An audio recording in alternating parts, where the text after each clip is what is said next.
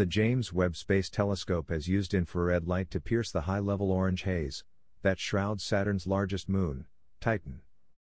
In this image, the lower level clouds are visible in the northern polar region, while haze covers the southern pole. Using other filters, a composite image captures the lower clouds as well as several surface features.